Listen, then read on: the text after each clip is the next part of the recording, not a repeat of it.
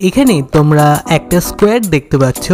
এবার বলতে পারবে এই স্কোয়ারটা বা বর্গক্ষেত্রর মধ্যে টোটাল কতগুলো ত্রিভুজ আছে। আর বন্ধু, ভালো করে এটা গুনে নাও এবং অ্যান্সারটা কমেন্টে জানিয়ে দিও। আর এই প্রশ্নটা পাঠিয়েছে উত্তর চব্বিশ পরগনা থেকে সংগীত দত্ত, প্রামাণিক।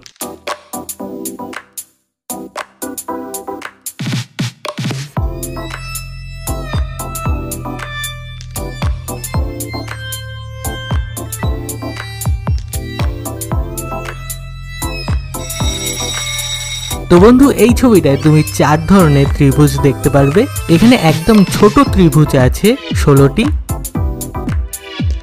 তার থেকে একটু বড় ত্রিভুজ আছে আরও ষোলোটি।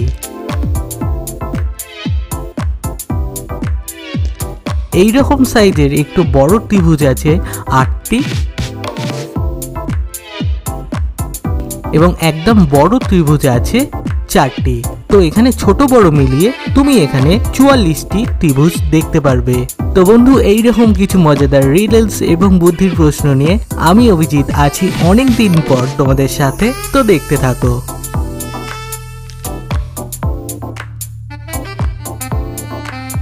পরের প্রশ্নটি পাঠিয়েছে নারায়ণগঞ্জ, বাংলাদেশ থেকে প্রসেনজিৎ। একবার রাহুল রাস্তা দিয়ে যাচ্ছিল। সেই সময় কয়েকজন গুন্ডা তাকে অজ্ঞান করে সেখান থেকে নিয়ে চলে যায়। পরে যখন তার জ্ঞান আসে সে দেখতে পায় সে একটা ঘরে বন্দি আছে এবং সেই ঘরের দেয়ালে একটা টাইমার আছে আর তার নিচে লেখা আছে, এক ঘণ্টা পর তাকে সেখান থেকে বের করে নেওয়া হবে। সে যখনই সেটা পড়ল, তখনই টাইমারটা চলতে শুরু করল। হঠাৎ সেই সময় দেখা গেল ঘরের বাপাশে একটা কল থেকে ক্রমাগত জল পড়তেই শুরু করেছে এবং তার ফলে ঘরের জলের ওয়াটার লেভেলটা বাড়তে শুরু করেছে। সেই ঘরে কোনো জানলাও নেই, কোনো দরজাও নেই, এমনকি কোনো ছিদ্রও নেই এবং সেই ঘর থেকে বেরোনোর একমাত্র পথ সেটা রাহুলের থেকে কুড়ি ফুট ওপরে অবস্থিত এবং দেখা যাচ্ছে ক্রমাগত সেই ঘরের জলের ওয়াটার লেভেল বেড়েই চলেছে। রাহুল সাঁতারও জানে না, সেই ঘরে শুধুমাত্র একটা বোতল পেয়েছে আর একটা লাঠি দেখতে পেয়েছে। এবার তোমরা কি বলতে পারবে? রাহুল কীভাবে এই সিচুয়েশন থেকে বেঁচে ফিরতে পারবে? আর অ্যান্সারটা খুব খুব সহজ, তো ভালো করে দেখলে বুঝতে পেরে যাবে।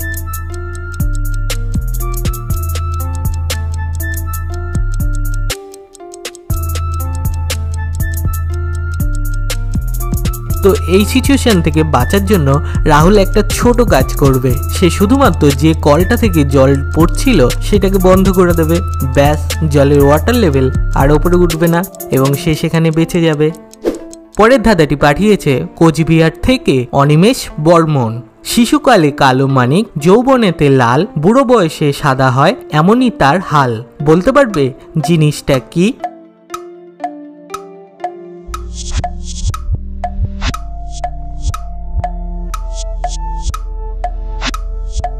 তো বন্ধু, এই প্রশ্নের উত্তরটা হবে কয়লা। কয়লা এমনি সময় কালো রঙের হয়, কিন্তু যখন পুড়ে ছাই হয়ে যায়, তখন সেটা সাদা রঙের হয়ে যায়। পরের ধাঁধাটি পাঠিয়েছে বয়গাঁও থেকে নুরুল আমিন তালুকদার। একবার একটা লোক গভীর জঙ্গলের মধ্যে দিয়ে যাচ্ছিল। সেই সময় লোকটা রাস্তার মধ্যে একটা চিরাগ পড়ে থাকতে দেখে। তারপরে সেই লোকটা সেই চিরাগটি হাতে তুলে নেয় এবং তুলে নিতেই একটা জিন সেখান থেকে বেরিয়ে আসে এবং বলে মহাশয়, আমি আপনার একটা ইচ্ছা পূরণ করব। লোকটি তখন কি ইচ্ছা পূরণ করবে সেটা বুঝতেই পারল না। সে তখন সেই চিরাগটাকে জঙ্গলের মধ্যে রেখে তার বাড়ির লোকজনকে জিজ্ঞাসা করতে চলে গেল। বাড়িতে এসে লোকটা তার মা, বাবা এবং তার স্ত্রীকে ব্যাপারটা খুলে বলে এবং তারপর বাড়ির এক একজন এক একটা ইচ্ছা পূরণের কথা বলে। লোকটির মা বলে, বাবু আমি অন্ধ। তুই জিনকে বলিস, আমার চোখ দুটো যেন ফিরিয়ে দেয় এবং আমি যেন আবার দেখতে পাই। লোকটির স্ত্রী বলে, দেখো, আমাদের কোনো সন্তান নেই। তুমি জিনকে বলো, আমাদের যেন একটা পুত্র সন্তান হয়। আর লোকটির বাবা বলে, বাবু, আমরা খুব গরিব। তুই জিনকে বলিস, আমাদের জন্য খুব তাড়াতাড়ি ধনী করে দেয়। এবার সমস্যাটা হলো, সেই জিন একটাই ইচ্ছে পূরণ করবে। তাহলে বলতে পারবে, লোকটি জিনকে কি বললে তিনজনের ইচ্ছাই পূরণ হবে? আর উত্তরটা যদি পারো তাহলে কমেন্টে লিখে দিতে পারো।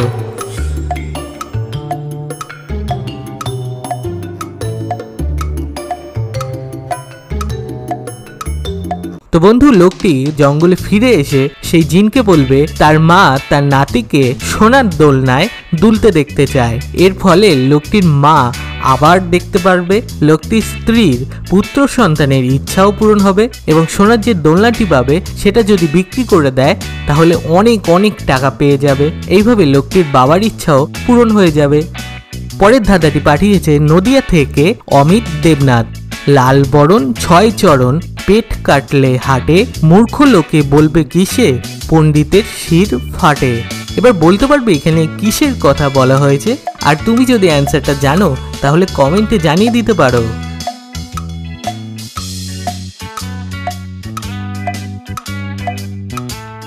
তো বন্ধু, উত্তরটা হবে পিঁপড়ে, কারণ সাধারণত পিঁপড়ের রং হয় লাল, আর এর ছটা পা থাকে এবং পিঁপড়েতে তুমি যদি পেটটা কেটে দাও, তাহলেও দেখবে সেটা বেঁচে থাকে।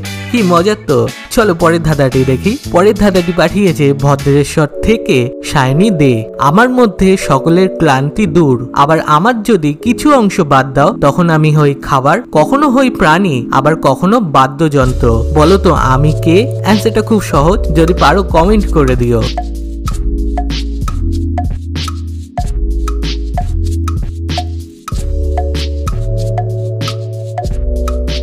বন্ধু, উত্তরটা হবে বিছানা কারণ বি বাদ দিলে হয় ছানা, যেটা একটা খাওয়ারের নাম। না বাদ দিলে হয় বিছা, যেটা একটা কীট পতঙ্গ আর ছা বাদ দিলে হয় বিনা, যেটা একটা বাদ্যযন্ত্র। পরের ধাঁধাটি পাঠিয়েছে নদিয়া থেকে সায়ন গুহ। একটা ঝুড়িতে ছয়টি ডিম আছে। ছয়জন মানুষ প্রত্যেকে একটি করে ডিম নিয়ে চলে গেল। কিন্তু দেখা গেল সেই ঝুড়িতে এখনও একটি ডিম অবশিষ্ট রয়েছে বা পড়ে আছে। বলতে পারবে এটা কি করে হলো?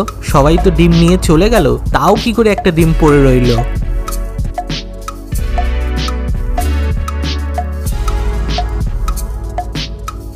সেই ঝুড়িতে একটা ডিম পড়ে থাকল কারণ যে লোকটি সবার শেষে ডিমটি নিয়েছিল, সে ঝুড়ি সমেত ডিমটি নিয়ে চলে গেছিল। পরের ধাঁধাটি পাঠিয়েছে উত্তর দিনাজপুর থেকে অনিশা দাস। কোন জিনিসটা তোমার? কিন্তু অন্য লোকে সেটা বেশি ব্যবহার করে। আর তুমি সেটা কম ব্যবহার করো।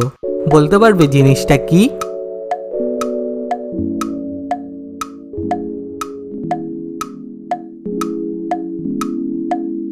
বন্ধু, উত্তরটা হবে তোমার নাম। তোমার নাম তুমি ছাড়া অন্যরা সব থেকে বেশি ব্যবহার করে। পরের ধাঁধাটি পাঠিয়েছে বাঁকুড়া থেকে অনামিকা দাস। দুই বন্ধুর কাছে কতগুলো ফুল আছে? প্রথম বন্ধু বলল, তুই আমাকে তোর থেকে একটা ফুল দিয়ে দে, তাহলে আমাদের দুজনের সমান সমান ফুল হয়ে যাবে। তখন দ্বিতীয় বন্ধু বলল, তুই আমাকে একটা ফুল দিয়ে দে, তাহলে তোর থেকে আমার ডাবল ফুল হয়ে যাবে। এবার বলতে পারবে, ওই দুই বন্ধুর কাছে টোটাল কতগুলো করে ফুল ছিল?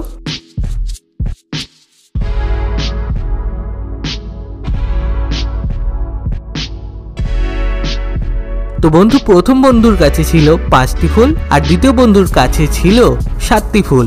এবার প্রথম বন্ধু তার পাঁচটি ফুল থেকে যদি একটা ফুল দ্বিতীয় বন্ধুকে দিয়ে দেয়, তাহলে প্রথম বন্ধুর কাছে হয়ে যাবে চারটি ফুল এবং দ্বিতীয় বন্ধুর কাছে হয়ে যাবে আটটি ফুল। এর ফলে দ্বিতীয় বন্ধুর কাছে ডাবল ফুল হয়ে যাবে। আর যদি এটা না করে, দ্বিতীয় বন্ধু তার যদি সাতটা ফুল থেকে একটা ফুল যদি প্রথম বন্ধুকে দিয়ে দেয়, তাহলে দুজনেই ছটা করে ফুল হয়ে যাবে। তার মানে দুজনের সমান সমান ফুল হয়ে যাবে। এবার আজকের বুদ্ধির প্রশ্ন, এই ছবিটা ভালো করে দেখে বলো তো, এখানে এই দুজন মহিলার মধ্যে কোন মহিলাটি সব থেকে গরিব। আর তোমাদের মতামত আমাদের কমেন্টে এবং ডান দিকের আই বাটনে প্রেস করে জানিয়ে দিও।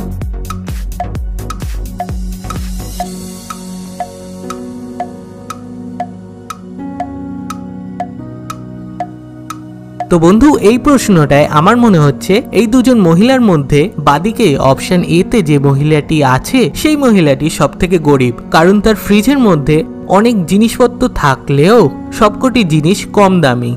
যেমন শাকসবজি, ডিম, দুধ, তরমুজ, এইসব জিনিসপত্র আছে, এগুলো সবই কম দামি। এবং কিছু কৌটো দেখতে পাচ্ছ, যার মধ্যে জিনিসপত্র অর্ধেক হয়ে আছে। হয়তো সেগুলো শেষই হয়ে গেছে, কিন্তু অপশন বির মহিলাটির ফ্রিজে কম জিনিসপত্র থাকলেও সবকটি জিনিসপত্র কিন্তু দামি।